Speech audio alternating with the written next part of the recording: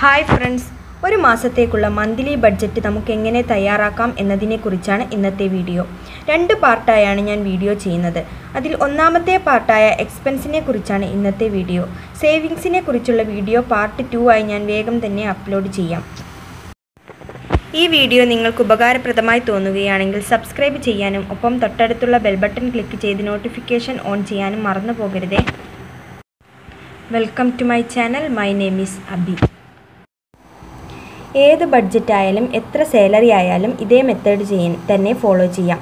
നിങ്ങൾക്ക് എത്ര salary amount ഉണ്ടെങ്കിലും അതിനെ എക്സ്പെൻസായും സേവിങ്സായും രണ്ട് പാർട്ടാക്കുക ഇതിൽ എക്സ്പെൻസിനെ വീണ്ടും രണ്ട് പാർട്ടാക്കുക ഫിക്സഡ് എക്സ്പെൻസ് എന്നും വേരിയബിൾ എക്സ്പെൻസ് എന്നും.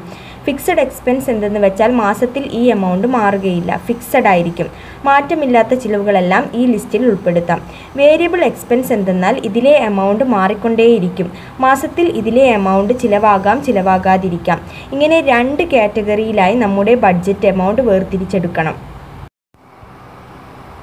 ഇനി ഞാൻ എന്റെ മന്ത്ലി ബഡ്ജറ്റ് എക്സാമ്പിളായി ഒന്ന് വിശദീകരിക്കാം.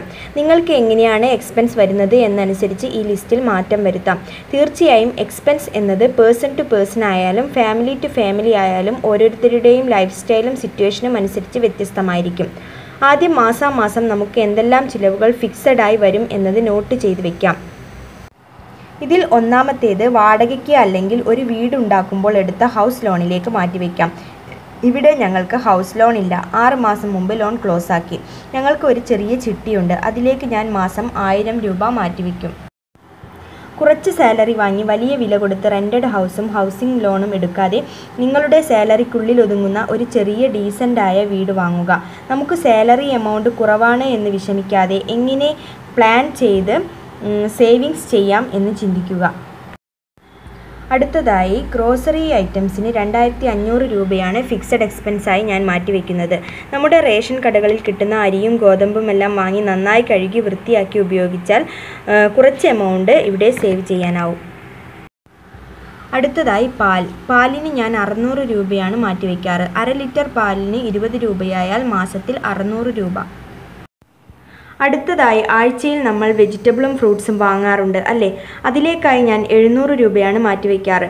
കൂടുതൽ ഐഫൈ ആക്കാതെ നമുക്ക് ആവശ്യമുള്ള പച്ചക്കറികളുടെ ലിസ്റ്റ് തയ്യാറാക്കി ഫ്രഷായവ മാത്രം നോക്കി വാങ്ങാൻ ശ്രദ്ധിക്കുക. അതുപോലെ തന്നെ ഫ്രൂട്ട്സും കുറേ ഐറ്റംസ് വാങ്ങി കേടാക്കി കളയാതെ ആഴ്ചയിൽ ഒന്നോ രണ്ടോ ഐറ്റംസ് വാങ്ങി ഉപയോഗിക്കുക. എന്റെ കാര്യം പറയുകയാണെങ്കിൽ ആദ്യമൊക്കെ ഞാനും ഇത്തരം കാര്യങ്ങൾ ശ്രദ്ധിക്കാറില്ലായിരുന്നു. ഹസ്ബൻഡിനോട് പറയും പച്ചക്കറി തീർന്നു വാങ്ങണമെന്ന്. ഹസ്ബൻഡ് പച്ചക്കറി പീടികയിലെ ഒരുവിധം എല്ലാ സാധനങ്ങളും വാങ്ങി വരും ഫ്രിഡ്ജിൽ കുത്തി നിറച്ച് വച്ച് കുറേ കഴിഞ്ഞ് പകുതിയിലേറെയും കേടാക്കി എടുത്തെറിയും. ഇപ്പോൾ ഞാൻ പച്ചക്കറി ആവശ്യമുള്ളതിന്റെ ലിസ്റ്റ് എഴുതി കൊടുക്കാറാണ് ചെയ്യുന്നത്. ഇങ്ങനെ ചെയ്യുമ്പോൾ വെജിറ്റബിൾ ഫ്രഷായും വേസ്റ്റ് ആകാതെയും നമുക്ക് ഉപയോഗിക്കാം. അടുത്തത് നോൺ വെജ് ആയവർക്ക് മീനും ഇറച്ചിയും വാങ്ങാൻ മാസത്തിൽ ഒരു തുക വേണ്ടിവരും. ഞങ്ങൾക്ക് ദിവസവും മീൻ വേണമെന്നില്ല. അതുകൊണ്ട് തന്നെ എഴുന്നൂറ്റി രൂപയാണ് ഞാൻ മാസത്തിൽ നോൺ വെജ് ഐറ്റംസിനായി മാറ്റിവെക്കാറ്. അടുത്തത് കറണ്ട് ബിൽ. രണ്ട് മാസം കൂടുമ്പോഴാണ് നമുക്ക് കറണ്ട് ബില്ല് വരുന്നത്. ഞങ്ങൾക്ക് അറുന്നൂറ് രൂപയാണ് ആവാറ്. അപ്പോൾ ഒരു മാസത്തേക്ക് മുന്നൂറ് രൂപ മാറ്റിവെക്കാം. കറണ്ട് ബില്ല് പോലെ തന്നെയാണ് ഗ്യാസിന്റെ കാര്യവും. എനിക്ക് ഒരു സിലിണ്ടർ മൂന്ന് മാസത്തേക്കുണ്ടാകും. അപ്പോൾ ഒരു മാസം കണക്കാക്കിയാൽ ഏകദേശം മുന്നൂറ് രൂപ ഗ്യാസിനായി മാറ്റിവെക്കണം. എട്ടാമതായി ന്യൂസ് പേപ്പർ വാങ്ങുന്നതിലേക്ക് ഒരു ഇരുന്നൂറ് രൂപ മാറ്റിവെക്കാം. അടുത്തതായി dish T V mobile recharge എല്ലാത്തിനും കൂടി മാസത്തേക്ക് ഒരു അറുന്നൂറ് രൂപയാകും. ലാസ്റ്റായി സ്കൂൾ ഫീ ആണ് എനിക്ക് രണ്ടാം ക്ലാസ്സിൽ പഠിക്കുന്ന ഒരു മോനുണ്ട്. മോൾക്ക് രണ്ട് വയസ്സേ ആയിട്ടുള്ളൂ. മോന് മൂന്ന് ടേമായാണ് ഫീ. എന്നാലും മാസം മാസം സ്കൂൾ ഫീസിന്റെ എമൗണ്ട് ഡിവൈഡ് ചെയ്ത് കാൽക്കുലേറ്റ് ചെയ്ത് എടുത്തു വെച്ചാൽ ടേംസ് ഫീ കൊടുക്കേണ്ട സമയമാകുമ്പോൾ ഈസി ആയിരിക്കും.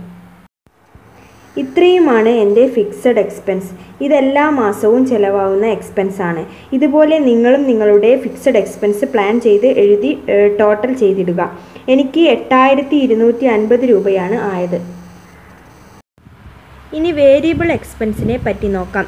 ഇതിൽ ഒന്നാമതായി എന്റർടൈൻമെന്റ് ആണ്.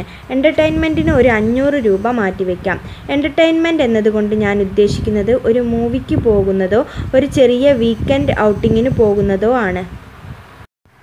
രണ്ടാമതായി മെഡിക്കൽ എക്സ്പെൻസിലേക്ക് ഒരു അഞ്ഞൂറ് രൂപ മാറ്റിവെക്കാം ഇനി പെട്രോൾ അല്ലെങ്കിൽ ട്രാവൽ എക്സ്പെൻസ്. ഓഫീസിൽ പോകാൻ ടു വീലർ യൂസ് ചെയ്യുമ്പോൾ പെട്രോൾ വേണം. അതുപോലെ പബ്ലിക് ട്രാൻസ്പോർട്ട് ഉപയോഗിക്കുന്നവരായാലും ഒരു ചെലവ് വരും. അതിലേക്കായി ഞാൻ ആയിരത്തി അഞ്ഞൂറ് രൂപയാണ് മാറ്റിവെക്കുന്നത്. എന്റെ വേരിയബിൾ എക്സ്പെൻസ് ടോട്ടൽ രണ്ടായിരത്തി അഞ്ഞൂറ് രൂപയാണ്. ഇനി എന്റെ ഫിക്സഡ് എക്സ്പെൻസ് എയും വേരിയബിൾ എക്സ്പെൻസായ ബിയും കൂടി കൂട്ടിയപ്പോൾ പത്തായിരത്തി എഴുന്നൂറ്റി അൻപത് രൂപ കിട്ടി. എന്റെ ടോട്ടൽ എക്സ്പെൻസ് ആണ് പത്തായിരത്തി എഴുന്നൂറ്റി അൻപത് രൂപ. ഇനി എന്റെ സേവിങ്സിനായി എത്ര ബാക്കിയുണ്ടെന്ന് നോക്കാം. അതിനായി എന്റെ സാലറി എമൗണ്ടായ പതിനഞ്ചായിരത്തിൽ നിന്ന് പത്തായിരത്തി എഴുന്നൂറ്റി അൻപത് രൂപ മൈനസ് ചെയ്തു നോക്കാം. സേവിങ്സ് ആയി എനിക്ക് നാലായിരത്തി ഇരുന്നൂറ്റി അൻപത് രൂപയാണ് കിട്ടിയത്. ഇനി ഈ നാലായിരത്തി ഇരുന്നൂറ്റി അൻപത് രൂപ നമുക്ക് എങ്ങനെയെല്ലാം സേവ് ചെയ്യാം എന്ന് monthly budget planning part two ആയി അടുത്ത വീഡിയോയിൽ ഉൾപ്പെടുത്താം. ഇത്രയും സമയം എന്നെ കേട്ടുകൊണ്ടിരുന്ന എന്റെ എല്ലാ സുഹൃത്തുക്കൾക്കും നന്ദി പറഞ്ഞുകൊണ്ട് ഈ വീഡിയോ ഞാനിവിടെ അവസാനിപ്പിക്കുന്നു. സബ്സ്ക്രൈബ് ചെയ്യുന്ന കാര്യം കൂടി ഒന്ന് പരിഗണിക്കണേ.